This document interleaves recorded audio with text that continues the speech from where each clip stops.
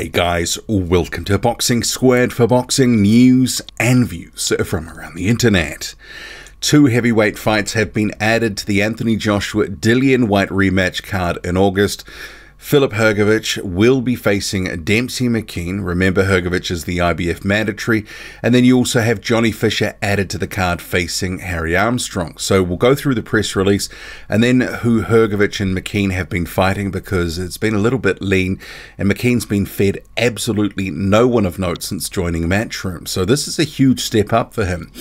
So, first, the press release. As you can see here, the uh, graphic Hrgovic and McKean Undefeated heavyweights Hrgovic and McKean collide on sold out Joshua vs. Whyte 2 card. Uh, IBF number one El Animal returns against the Tower of Terror, or I've missed out the terror bit.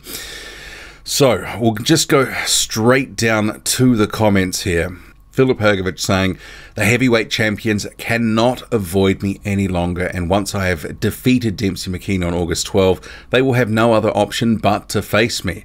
I have waited patiently and bided my time, but the game is up. El Animal is coming for you, and it's ready to take the belts uh, back to Croatia. I think, unfortunately for um, Filip Hrgovic, that you've got a small cabal of heavyweights at the top Wilder, Fury, Usyk, and Joshua, and they are the ones controlling the division along with their promoters. Your promoter, Filip Hrgovic, is uh, part of the problem. Uh, that's, you know, he's keeping you inactive, and this is your first fight in a year. So you've got a, um, a further quote saying, McKean will be a tough, strong opponent, but it has never faced anyone as powerful and skillful as me. August 12 at the O2 in London is the night the heavyweight division starts to change. McKean says, This is what it's all about the big fights. I've been grinding a big portion of my life for a fight like this. I'm one win away from fighting Usyk for the four world titles. This is my world title fight. So he must be counting the IBO erroneously. Usyk holds three of the four major sanctioning body titles. The IBO is on the outside looking in. Eddie Hearn saying, We have a monstrous night of heavyweight boxing in store for fight fans around the world on Saturday, August 12, live from the sold out O2 in London. Old foes Anthony Joshua and Dillian Whyte meet again in a must win clash at the top of the bill, and I'm excited to confirm the first two undercard editions of what will be a stacked card. The IBF's number one ranked Filip Hrgovic returns a year on from his final elimination win over Zhang Zhilei.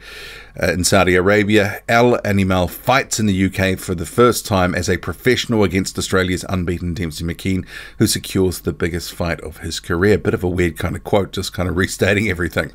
And then he says Johnny Fisher uh, the Romford Bull begins his assault on the domestic heavyweight scene when he takes on Harry Armstrong for the vacant Southern Area title.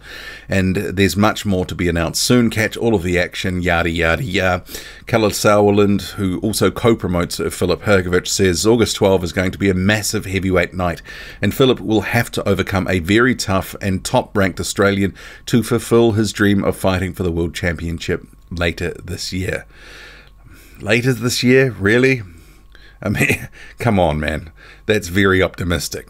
One thing is clear only Demsey McKean stands between Hrgovic and fighting for the world title because the winner of Usyk Dubois is mandated to fight the winner.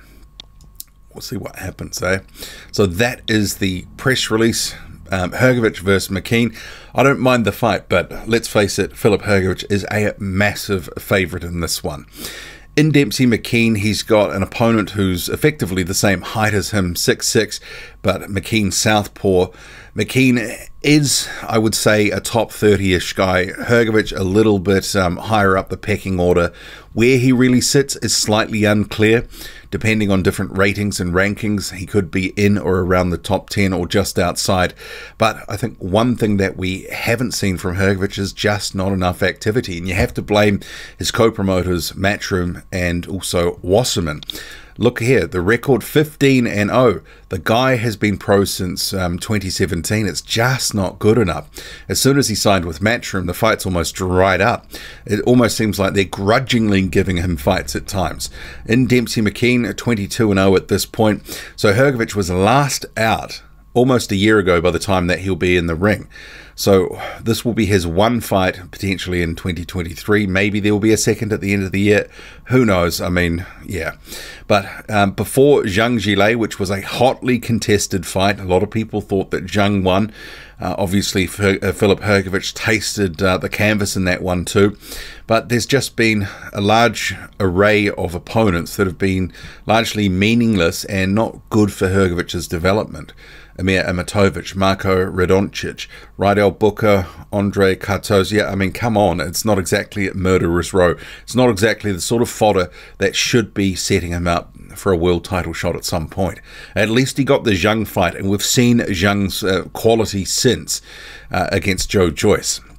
So Hrgovic, and I think his stock from that fight, from Zhang beating Joyce, actually went up because a lot of people are saying that Hrgovic, um, they don't like him, they don't think he's uh, going anywhere, and actually BoxRec has him at number 15. Maybe that's fair based on who he's been fighting. But um, yeah, some people think that he's basic and uh, basically is going to get stopped at the top level. I think that that win against Zhang has given people some pause for thought. In Demsey McKean, he's got a guy who, like him, has struggled to get decent opponents for the most part since joining Matchroom. Uh, so he joined on, he got fed Don Hainsworth, Ariel Esteban Bracamonte, and Patrick Korte. It's just terrible. So basically, the last two years, or the best part of it, has been against um, guys that are well below his station. And as a result, McKean, whose ranking was higher on BoxRec, has dropped down to um, number 54 in the world. So he is in a couple of different sanctioning bodies. Filip Hrgovic, obviously, in the IBF as their mandatory challenger at this point, and waiting and watching and wanting a title shot at some point. He's ambitious. He wants to get those top fights, but Hrgovic, will he get them? And this is the thing. It's, uh, you know, half the heavyweight division's been frozen out because you've got four or five guys at the top basically, you know, controlling things and denying fights and fighting sparingly so guys further down don't get opportunities. It's it's criminal almost. But Filip Hrgovic, I think will stop Demsey McKean. The preparation for McKean hasn't been great in terms of the fights that he's had in the lead up to this one. And I think Hrgovic uh, is big, strong, and if he lands the right hand, I think he is going to shake Demsey McKean up and ultimately stop him. I think Hrgovic will look to walk through McKean, but he's going to have to be careful to some extent because McKean has a good left hand. I mean, we've seen McKean hurt before, like in that fight, uh, fight against Johnny Rice, but ultimately he was able to uh, to gather himself and stop Rice later on in that fight. And Johnny Rice is no joke, so Demsey McKean does have some quality about him, but I do think he is a bit of a step below where Filip Hrgovic is. And McKean hasn't had ideal preparations in terms of those seasoning fights heading into this one. Matchroom have just given him nothing, and it's uh, it's not going to help him on the night. Hrgovic, though, you know, you can kind of say the same thing. Signed on with Matchroom has got fed, uh, for the most part, you know, irrelevant opponents up until Zhang Zhilei. And I think that fight highlighted that Hrgovic needed better defense and he couldn't just rely on his right hand. He's got to rely on his length. From the amateurs, he was a decent boxer, you know, had decent sort of silky skills, but it's almost like he's sort of shed that completely. Anyway, moving on briefly to talk about the uh, the other fight on the card. So you've got um, Johnny Fisher versus Harry Armstrong for the Southern Area title. I actually think this is a perfectly appropriate fight for the stage of Fisher's career. What is he about nine and zero? They said they were looking to um, step him up after his last fight to try contest the Southern Area title if they could. Harry Armstrong is an appropriate uh, fight at, and test at this point.